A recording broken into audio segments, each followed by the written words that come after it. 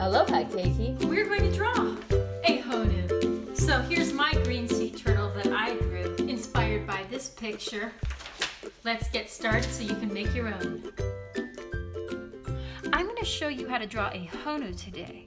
But anytime we look at something and draw it, we are practicing finding the lines and shapes that make up that thing. And if you get good at that, if you practice that, you can look at anything and then draw it. So, the first thing I notice about the Honu is this big shape here. It's like a big teardrop on its side. And so I'm going to draw that right here. I see that it's round.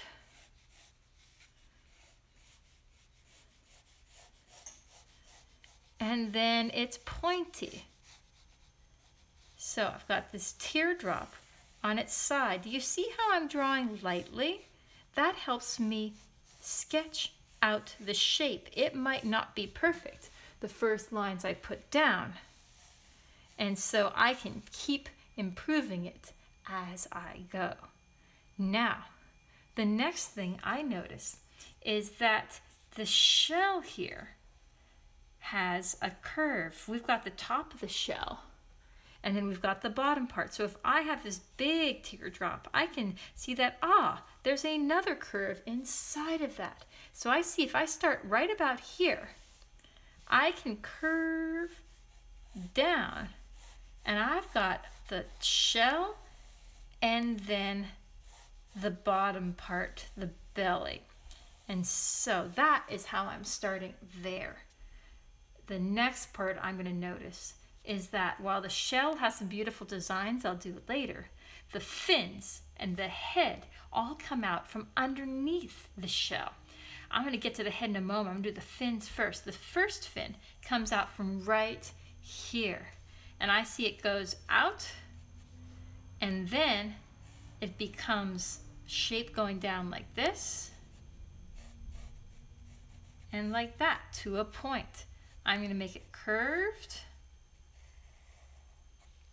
and go like that.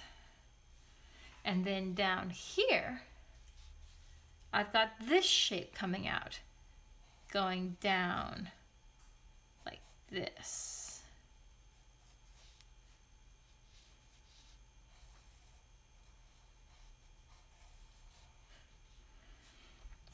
Now, I've got the head. The head is looking this way. It's coming out the body here, I'm going to do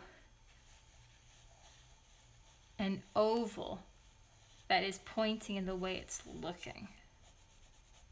And if yours comes out a little differently than me, than mine, your Honu's probably just swimming in a different way. I've seen lots of Honu and they all look just a little bit differently, just like people. So I've got that part there. And I'm to see the head is near the front in the middle. So about as middle up and same amount that way.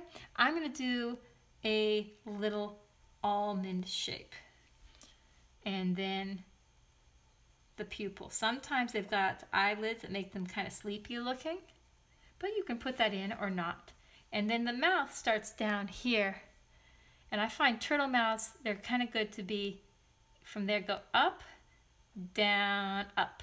And if you want the mouth open, do another line that comes up to it, like that.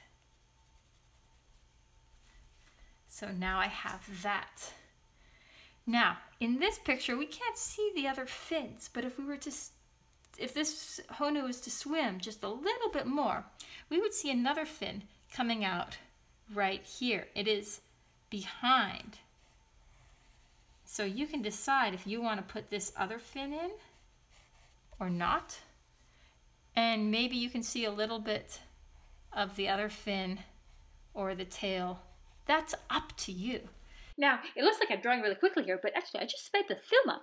And that's because I spent quite a while looking closely at the photo and at my drawing and seeing what else I notice. Like right there, I'm adding the scutes, the parts of the turtle's shell that have those beautiful shapes on them. And I'm noticing where else can I make the shapes clearer? And a little bit of erasing. I didn't use an eraser until just then.